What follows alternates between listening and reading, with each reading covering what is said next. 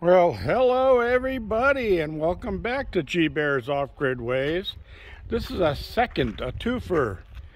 Um, I just stepped outside a little while ago and I noticed that uh, the sky north of here is really lighting up. They are really getting hammered over there with monsoonal.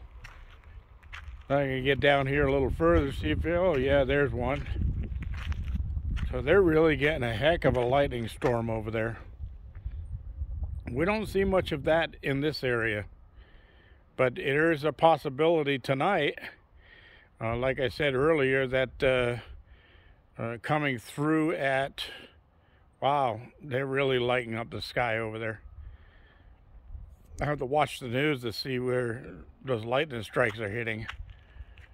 Because um, that's a lot of them. I mean, it's really been going on here for quite a while. I, I caught the, the flashes out of the corner of my eye while I was sitting down watching uh, TV, but uh, wow, I didn't realize it until I came out here how much there is actually going on.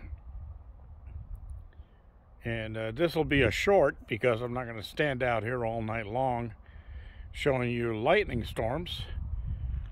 But uh, no rain here. We got a couple of sprinkles a little while ago when I came outside. And uh, I thought I was going to get some rain, but uh, there's still a possibility yet tonight because the sky above me is pretty dark. And uh, all that's happening about 30 miles from me, what you're seeing in the lightning over there. But uh, yeah, they're really light, lighting up the sky over there. I can imagine what the people are thinking driving down uh, the interstates and the uh, state highways, going, "Oh my God, what did I drive into?" But uh,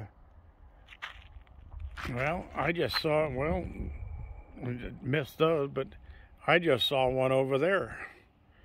So apparently, it's moving in. And uh, as I look over my shoulder, there's a lot of light reflection up on the clouds, but you can see breaks in them. But over this direction, you can see that it's uh, packing in and getting pretty dark. So who knows? May get some uh, sprinkles and rain tonight. I hope so.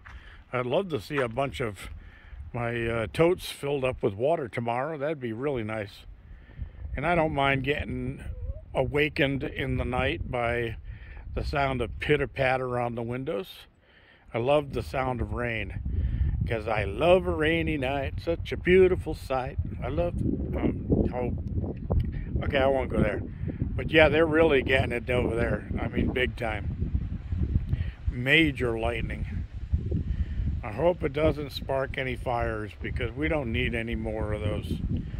I know that uh, Northern California, uh, Oregon, Washington, they're all they're all fighting fires right now. So, and I think they they're even fighting them all the way up in Canada.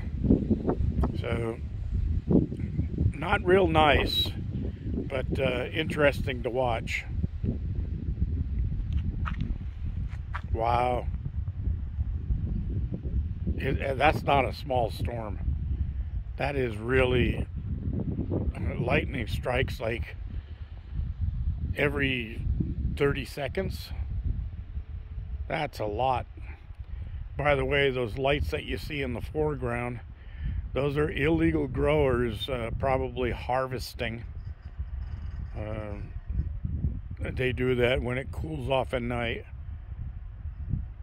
The trash of the desert we you just can't beat it. Well, maybe we can. We'll see about that.